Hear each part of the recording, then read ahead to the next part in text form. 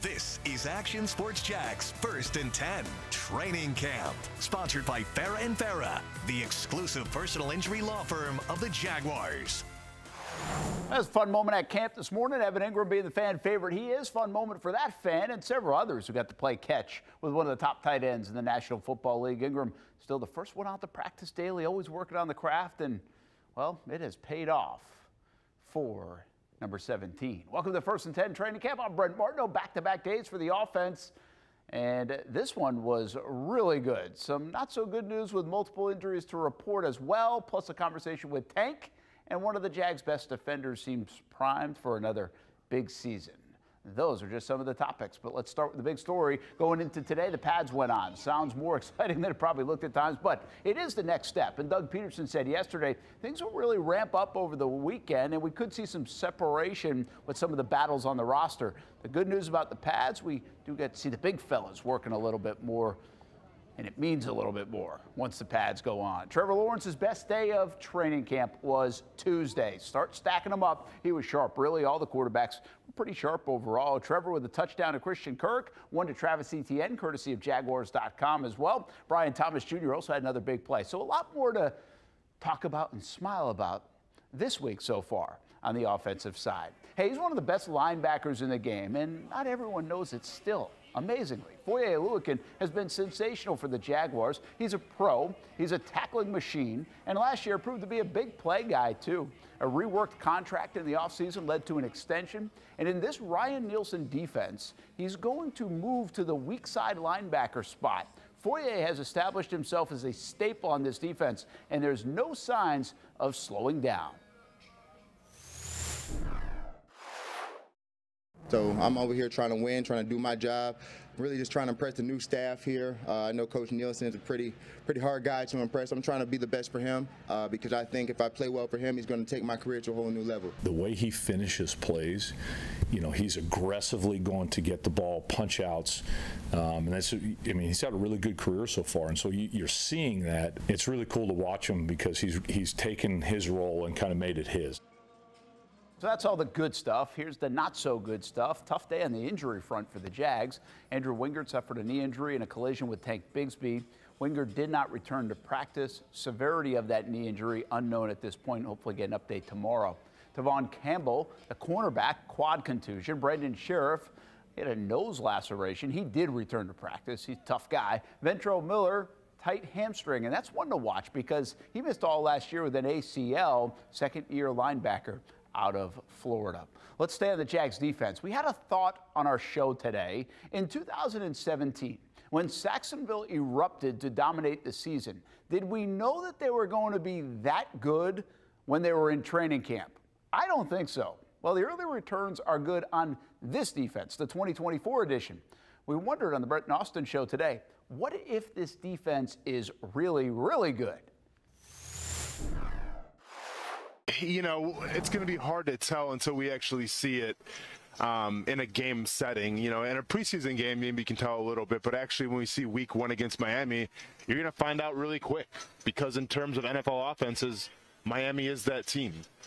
I think they have the potential to be a great team. You know, I mean, we talked about maybe having the possible the two best bookends in the entire NFL. When I said two best bookends, I mean you know combination of bookends. But obviously, you've addressed the interior defensive line in the draft as well. So hopefully, you've shored up that. And then, yeah, like I've said, I mean, I've been a, fan of Ronald Darby. I think he's played some great football the past couple of years. I think that immediately adds a little bit of a of an increase now into your skill set of your secondary. Jarrian Jones could come in and fill in a, a void as well. And like you mentioned, Darnell Savage, where is he going to fit in? So you have some good guys. You have guys coming from great programs or great, you know, traditions in terms of winning football it has all the combinations to be a great defense. Now, can they put it all together? Can they pick up this scheme? Can they do it in a game? Time will tell. You know, but as far as on paper is concerned, Brent, yeah, I'm willing to say that they could be a good, if not great, defense. All right, we got more of that coming up on a Wednesday. Here's the lineup on the Action Sports Jax 24/7 network. Starts with Miller, Miller and Moulton in the morning. And then our show, live from Furniture Source on Blanding Boulevard tomorrow. Come on out and say hello. Cup date with Stuart Weber at 1 o'clock. A week with Action Sports Jax with Alivia Tasley at 1.30. And a little bit later on, after the Stripe Show podcast, we've got the Young and Norvell show in the afternoon. So find it on actionnewsjax.com and the Action News Jax app. Tough year for Tank in 2023. Why year number two will be better for the Jags running back. We'll have the story in conversation coming up next. And very cool to see former Jaguars owner Wayne Weaver out at practice today. He hasn't stopped by much over the last decade to see the Jaguars, but he must be beaming with pride to see the news of this summer and another 30 years in Jacksonville for the team he helped bring to the River City.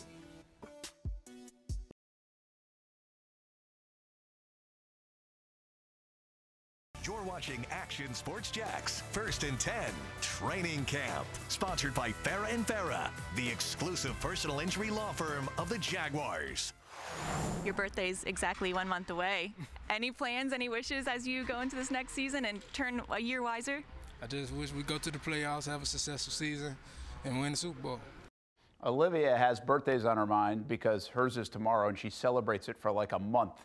We'll all take that for a birthday wish, though, what Tank said. Anniversary gift, Christmas gift, give up gifts for a year for all that. Well, Liv probably won't. Tank Bigsby will be 23 years old next month. Welcome back to First and 10 Training Camp, everybody. I'm Brent Martineau. Sometimes we have to remember how young these guys are. Still growing up, still developing, still a lot of runway in their careers. It's a young league in the NFL. And that means Tank Bigsby's tough rookie season wasn't the finish line. It was weird year for the third year, uh, second year back out of Auburn. A lot of hype faded to some really strange mistakes. He flashed quite a bit in the last game of the season, and the Jags will lean on him more in 2024. That is at least the plan. Action Sports Jax Alivia Tasley talking to Tank. First day with the pads on, still haven't taken them off. How's it feel? Feel good to come out and compete with the pads on for the first time. Um, haven't played football like that in about a couple months, but it feels good.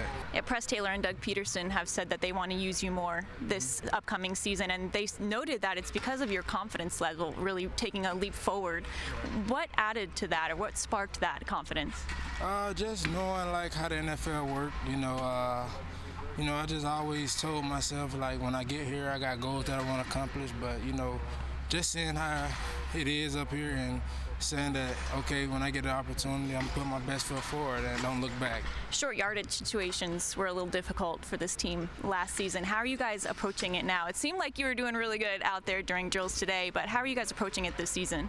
Uh, you know, we just being aggressive to it. You know, we gotta when, when it's third and one, we gotta be who we are. We gotta be our identity. We gotta hit it. We gotta go. We gotta figure out what we're gonna do.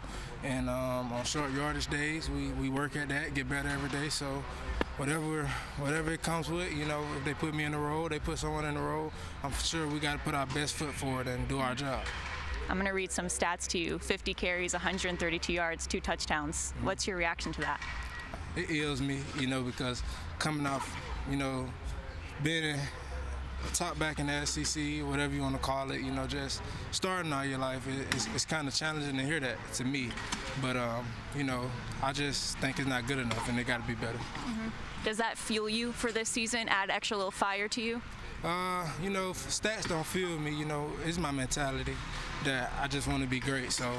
I know becoming, doing the great things, is going stats will come with it. So I don't, I'm not a guy that's go out and be like, geez, this, this, that. I know when I handle my job, it's gonna happen. So put my best foot forward, like I said, keep God first, and everything gonna happen this is really your first season with an offense that you're coming back to. You know, all through college, you didn't have that. Is it feel weird or is it more comfortable? I mean, how's it feel to you to have your first consistency, really? Uh, like actually, where you said earlier about the confidence level, mm-hmm. that's that's kind of where it's coming from. Like I'm in my second I'm second year in this offense, and I kind of know it, and I'm not out to get a new offense and study some new plays and come in camp focus on messing up. You know, I can just put my best foot forward and go and work at something I already know. So it's amazing, and that's kind of where the confidence part comes at too.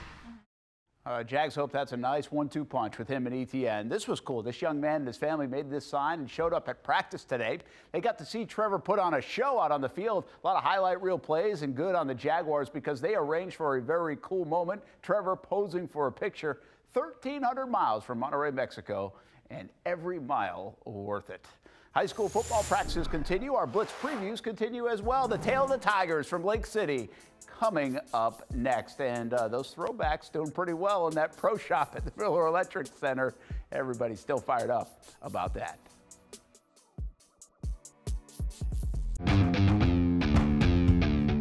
When you think sports, you think Action Sports Jax, the official station of the Jaguars, on location for every game. But the most experienced team in town doesn't stop there. From high school football to the big events in the area, Action Sports Jax is always on. Now, we take that to a new level. Action Sports Jax 24 7 is around the clock coverage of the teams you love and the moments you can't miss. The best local sports in Jacksonville on Action Sports Jax 24 7.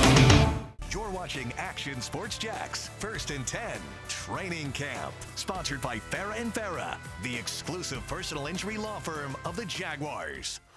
Uh, high school football season here. Practice is underway. We'll unveil some of our expanded Friday night coverage in the fall on the Action Sports Jax 24 7 network later in the week. But let's preview some teams like Friday nights in Lake City, Columbia are pretty good. Brian Allen in his second year of his second stint at Columbia after a couple of years off from coaching. Put the foundation back in last year, hopes to build off it this season with one message. And, and we always have something that we take in every year, it's relentless pursuit. Everything that we do, uh, relentless pursuit. How we attack the classroom, we want relentless pursuit. How we attack the field, we want relentless pursuit. How we attack our, our training, relentless pursuit and the guys bought into that big time, and it's been really good uh, this year. Newest episode of After the Game with Bulls coach Matt Toblin is out. You can check it out on your YouTube channel on the playlist or also on the Action Sports Jax 24-7 network Friday. Miami Marlins are stacking the deck again. The minor leagues made a bunch of moves around the trade deadline, brought in, or they moved nine players. They brought in 10 players. The Jacksonville Jumbo Shrimp, you might want to get a program when you go this week as they start the homestand tonight. And uh, they've got some of those new players, including Davison De Los Santos, was very, very good. Have a good night. Back at camp tomorrow, everybody. Thanks for watching Action Sports Jax First and 10 Training Camp. Sponsored by Farah and Farah, the exclusive personal injury law firm of the Jaguars. Action Sports Jax Prime Time. Saturday at 10:30 on Fox 30.